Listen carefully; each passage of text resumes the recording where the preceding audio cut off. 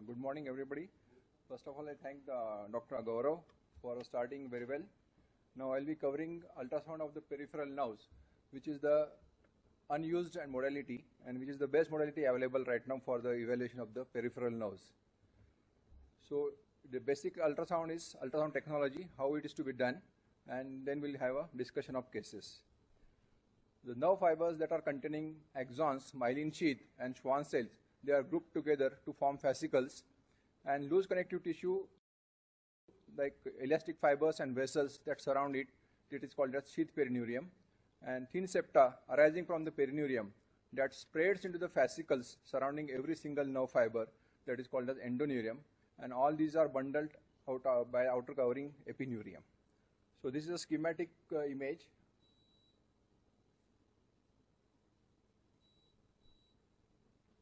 of the nerve, peripheral nerve. These are the fascicles, and this is the endoneurium, and this is the epineurium. And the same picture is seen on ultrasound. So these are hypoechoic are the nerve fascicles, and surrounding are the epineurium, perineurium. So the normal ultrasound is closely resembles histological aspect. You can see the uh, video which is showing the median nerve, the nerve fibers, and adjacent are the muscle fibers. So how how to evaluate the peripheral nerves on ultrasound? Usually you have to ha have a high uh, frequency peripheral transducer. 8 to 18 megahertz linear probe should be used. Visual visualization of the peripheral nerve should always be starting from the skin surface, which is a known anatomic landmark, like uh, wrist, uh, flexor retinaculum, or in the knee joint. You can always start from the known point, and then you can move the uh, transducer to and fro. The nerves are seen as parallel hyperechoic lines, hyperechoic lines with hypoechoic separations in between. And they almost look like an muscle fibers, but in muscle fibers, there is discontinuation of the, uh, there is discontinuation, while the nerves will show continuous uh, fibers. So this is the median nerve in the transverse section, and this is the median nerve in the longitudinal section, and this is the muscle fibers adjacent to it you can see that there is discontinuity while the nerve fibers are showing continuity. The same picture, static image. Now, various uh, nerve pathologies that can be di diagnosed and uh, on uh, ultrasound are nerve injury, neuropathies, or that is com compression neuropathies, tumors, and infective pathologies of the peripheral nerves. So, nerve injury. There are three different varieties uh, grading of the nerve injury The first and le less common, less uh, grievous is the neuropraxia, where there is minor contusion or compression of, with preserved myelin sheath. Usually it has a very good recovery.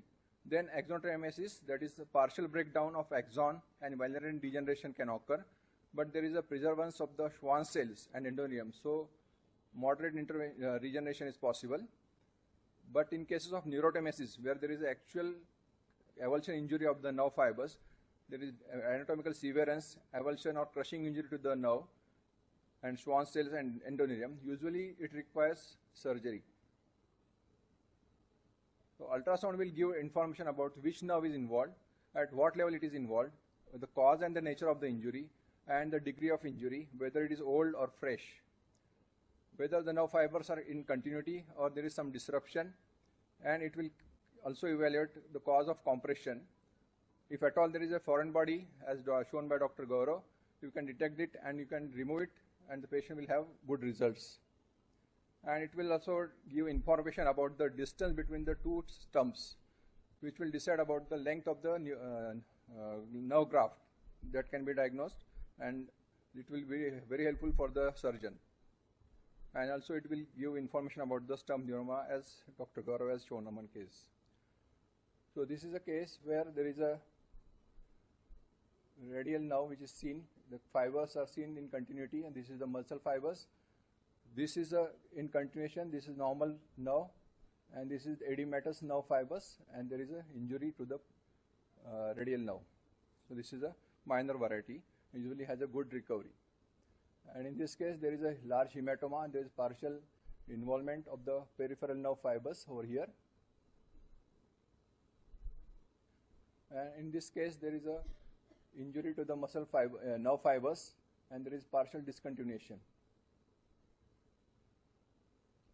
In this case, you are seeing it. And this is a severe case in which you are seeing a discontinuation of the nerve fibers. This is avulsion injury, crushing injury, there is discontinuation. These are this much length is the discontinued. So you can measure the distance, and this will help in the surgeon to decide about the management. The same another case which is showing injury to the peripheral nerve. And again, after a few uh, months, you can have a neuroma formation that is because of injury, localized dilatation of the, uh, nerve, uh, the endings is well seen, and there will be degeneration, and the rest of the nerve fibers are well seen.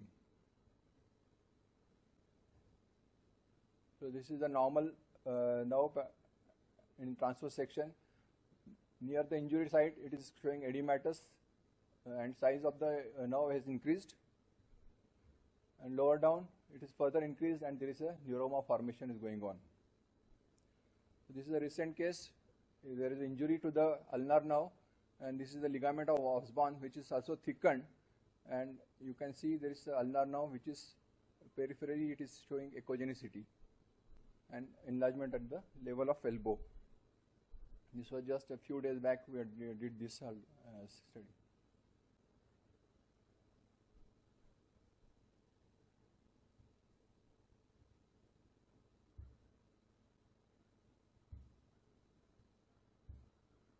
Video is not working, but it will show the subluxation of the ultra, uh, ulnar nerve in this uh, image. This is the ulnar nerve, which is edematous. There is another case which is showing injury to the vessel and the pseudoaneurysm formation, and it is compressing the median nerve at this level. Uh, this is another case where there is a complete tear, small segment of the tear into the injury site of the ulnar nerve.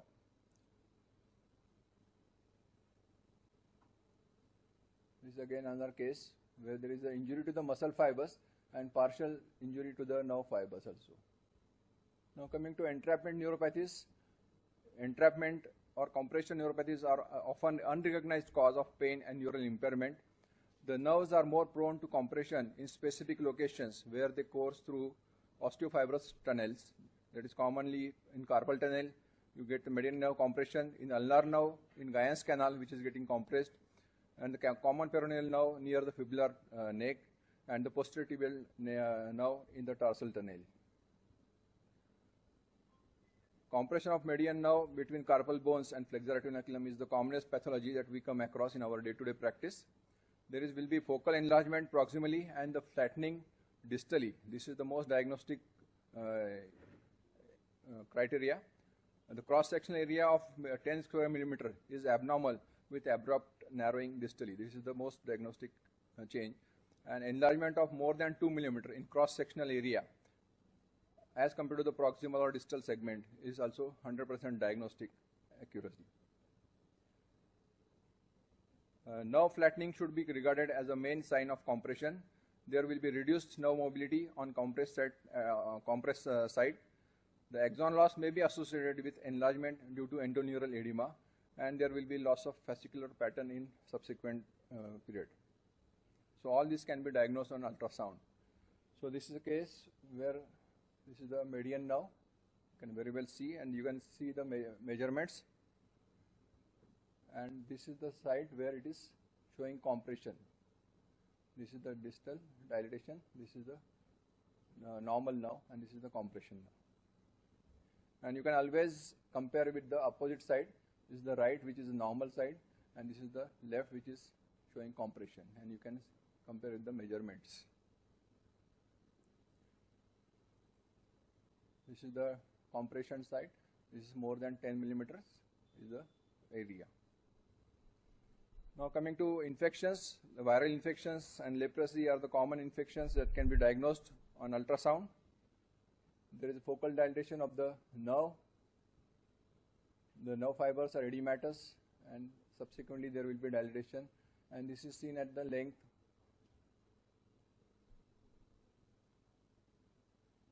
This is normal nerve, and here there is a focal dilation at the ulnar nerve, at the level of elbow.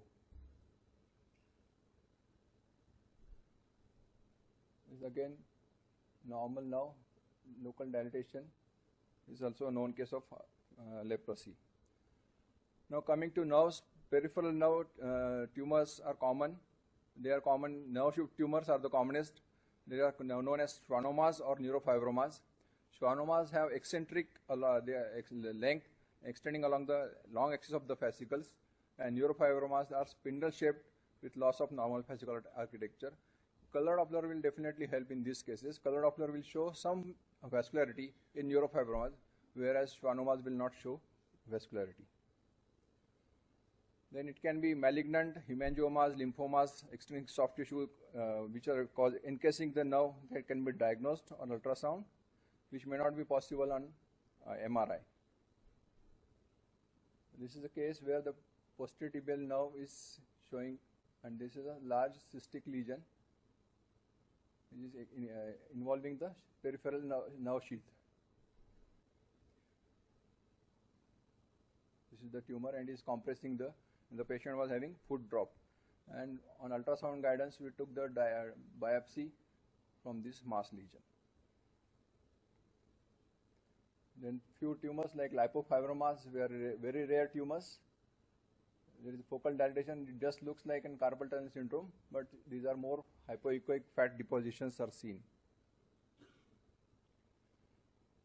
So ultrasound is a very good, very good advantages. The, it is most uh, important is inexpensive. It is widely available. There is no contraindications. You can do all patients it allows rapid and detailed imaging of the entire length of the major peripheral nerves and you can always compare on the both sides.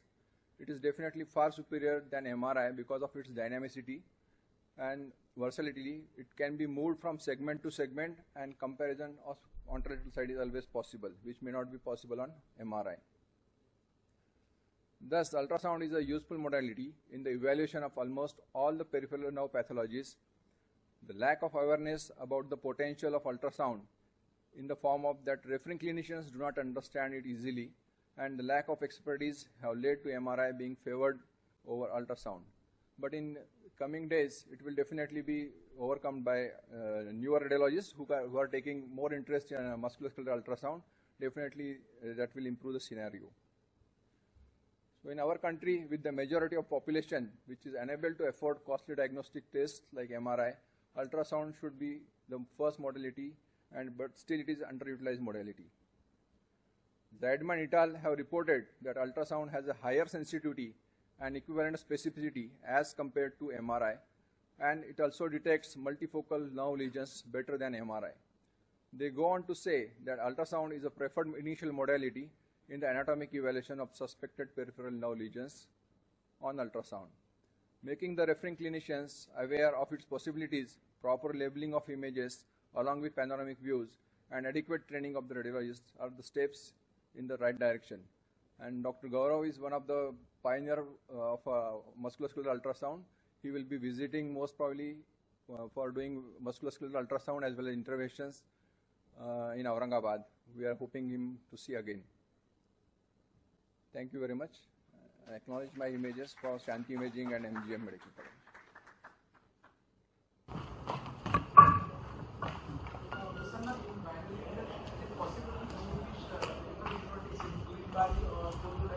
Uh, no, no, brain body is possible.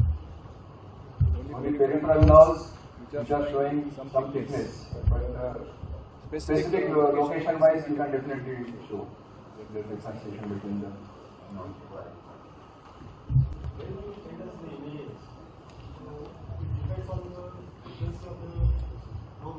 Yes. The better, higher frequency uh, images are better uh, because you can see the superficial structures very well on a higher frequency uh, probes. Yes, yes, yes. So, yes. Uh, that's why uh, such interactions are more needed if you come across. Then we can send the uh, live images also if you want live images, you can see the entire video, uh, you can see the entire length of the nerve, muscle, fibers, where discontinuation is there. That can be seen. And uh, definitely with the interactions between the clinicians and radiologists, it will improve both, both ways. Thank you very much.